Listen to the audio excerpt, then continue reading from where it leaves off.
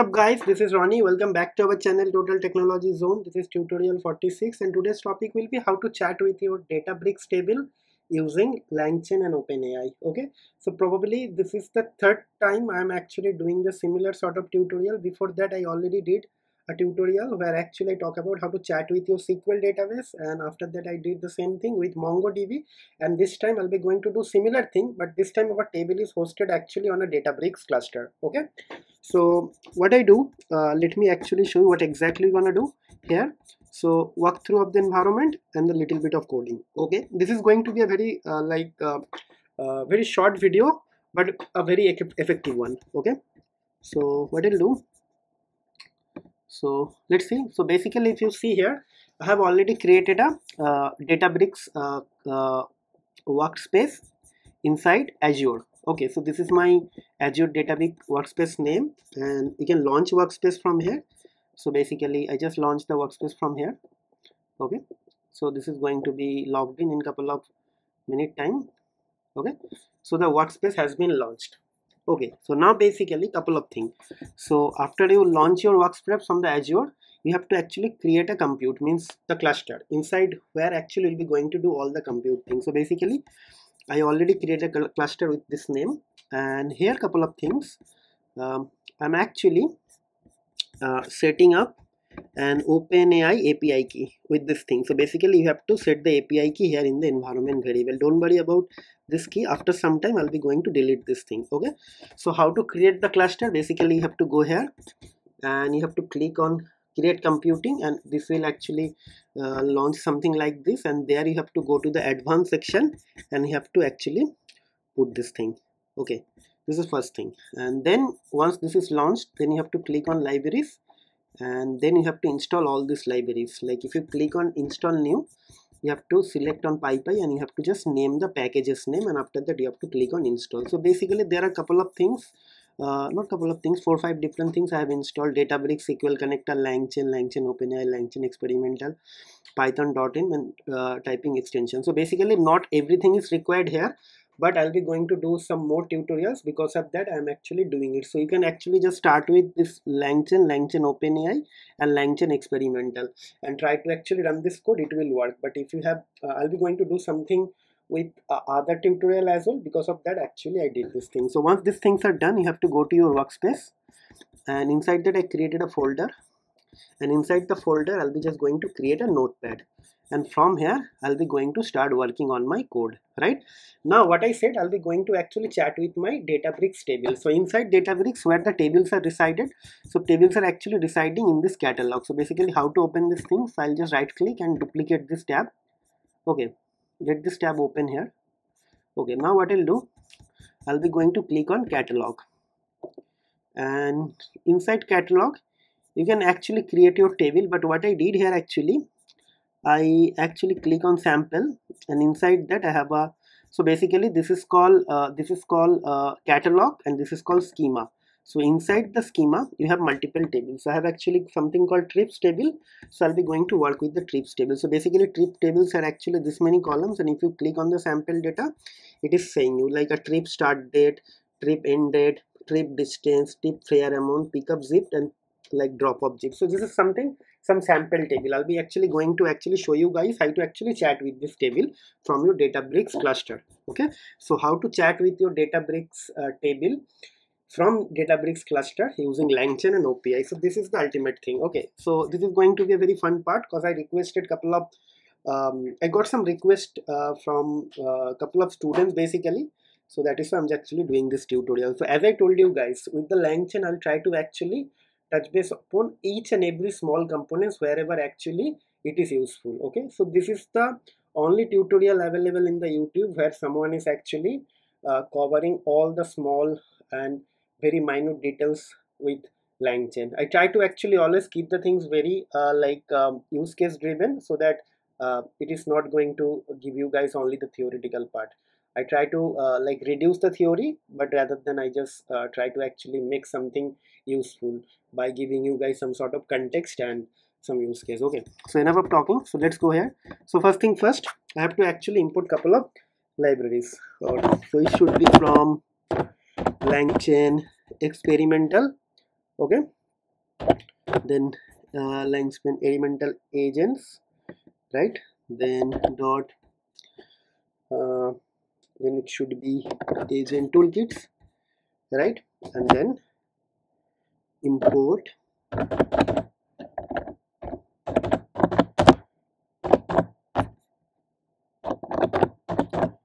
thing create uh, spark thing. It should be create spark data frame agent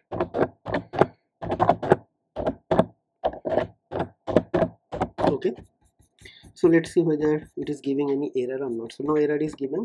So IntelliSense is actually not working. So next thing is actually so from langchain and then underscore probably open AI then import.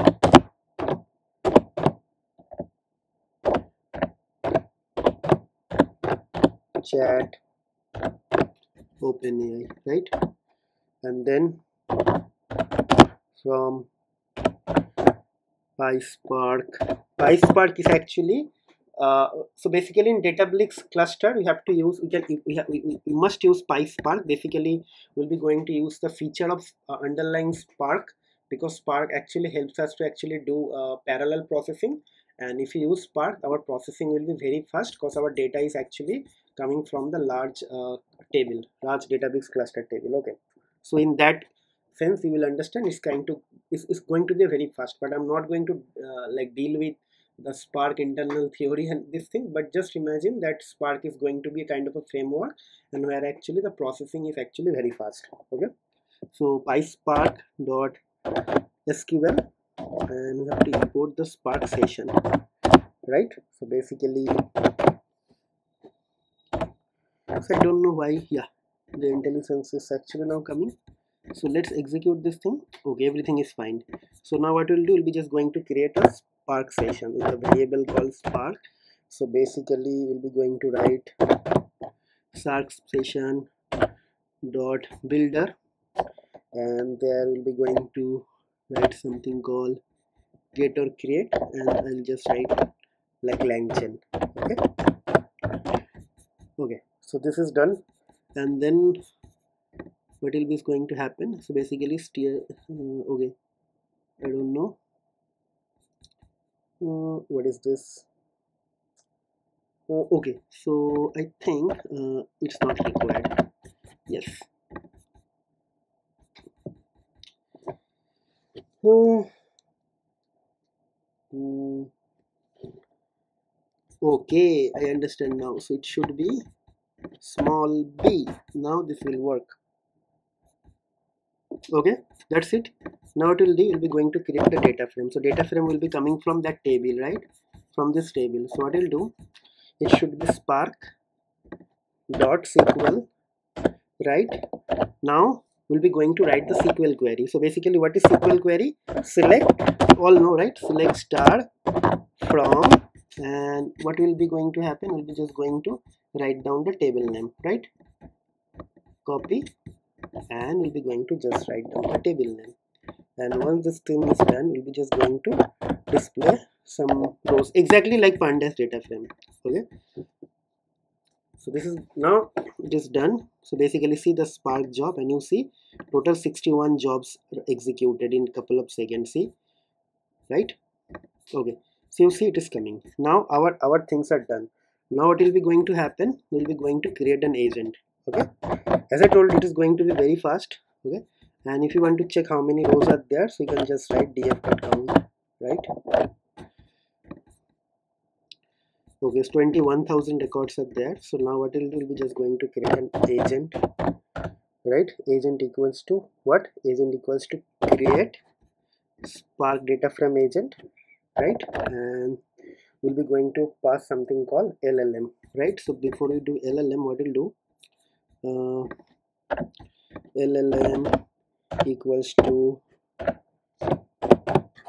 uh, what is this? Chat openai right? So first thing will be model will be gpt hyphen 4 and we'll be going to write temperature is 0 right? So basically llm equals to llm right? And data frame we have to pass the data frame is actually going to be df so it's like data frame agent right? Just like and then verbose equals to true. Everything is set here now right? So let's do right done. Now i'll be going to ask some question now. So our main task is run started. So agent dot run and there probably i'll be going to write uh, what are the columns available? Right. So starting from very basic thing. So let's see. So it started the verbose mode and it is saying this many columns are available. See pickup date drop up date trip distance fare amount pickup zip drop up zip right? So now let's ask couple of like some more tricky question right? So agent dot run okay. What is the maximum trip distance right? So I'll be going to ask total five question okay. So let's see. Yeah.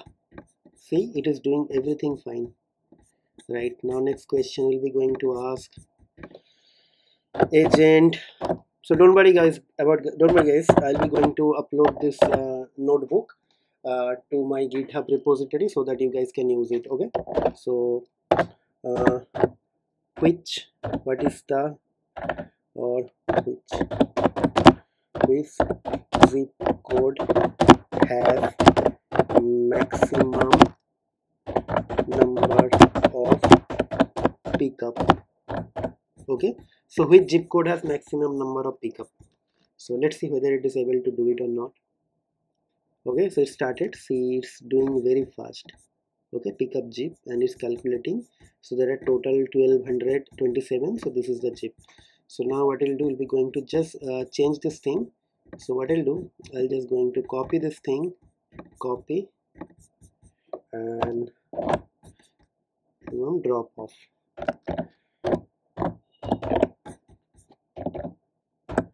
Okay.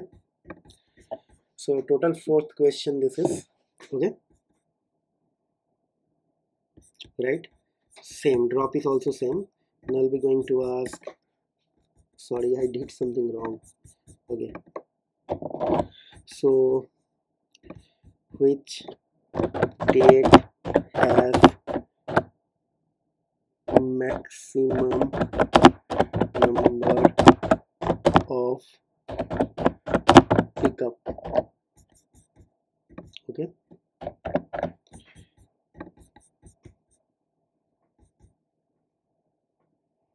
mm -hmm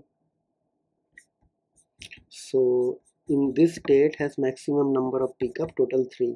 So basically uh, let's see maximum number of drop which date. So basically the date is actually uh, 2016105 let's see. Okay so let's see okay so maximum number of drop is actually this thing. So maybe some of the drops are actually after 12 hour okay? So last question okay? Uh, maybe I just copy this thing and ask this last question. So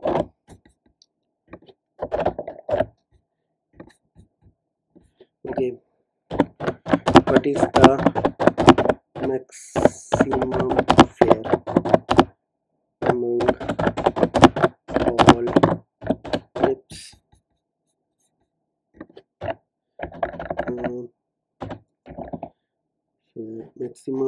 fare considering all trips. Let's see how it is now going to calculate. Ah so it's doing correctly.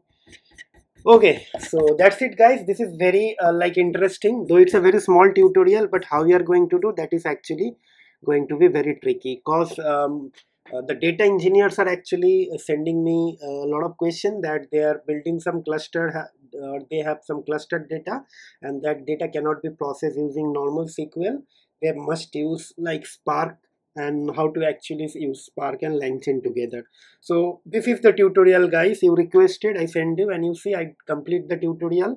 Basically i completed the tutorial in within uh, i think less than 15 minutes. So hopefully you guys will enjoy it and also you'll be able to actually gain some knowledge okay?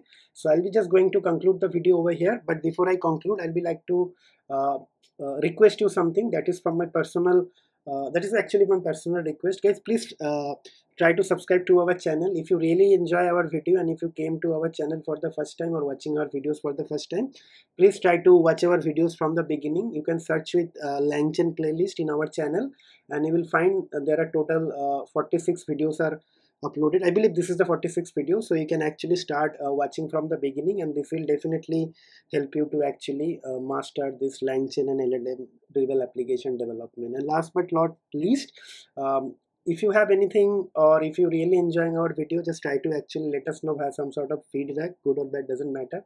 But please try to put some honest feedback so that we can also work on our quality and we can come back again with uh, some uh, better content for future right? And if you really think these videos are helping you or uh, helping you to do some uh, of your job effectively or if it's helping you to actually do better in your like study or whatever you are doing right? So if you think it is helping you in any aspect of your life then please try to let us know have some sort of acknowledgement because that will help uh, us to actually uh, get discovered by youtube uh, actually because the more engagement will actually help youtube to understand this video is valuable and they will start promoting our videos and eventually will actually gain larger audience base right? So uh, with your help we can actually large uh, get some some uh, big achievements in our life. So it's a humble request guys. Please try to subscribe our channel share our videos with your family and friend and whenever possible if you really enjoying our video just um, provide some comment so that it will motivate us to come back with uh, better and best content for the future okay? So with that note i'd like to conclude the video over here. We'll see you in the next video. Till then take care. Goodbye and have a nice day